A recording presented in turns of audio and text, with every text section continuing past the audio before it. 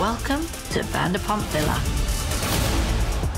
I know you know how to serve, but this is France.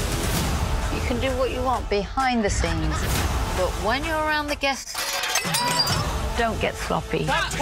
You are not going to behave like that in my business.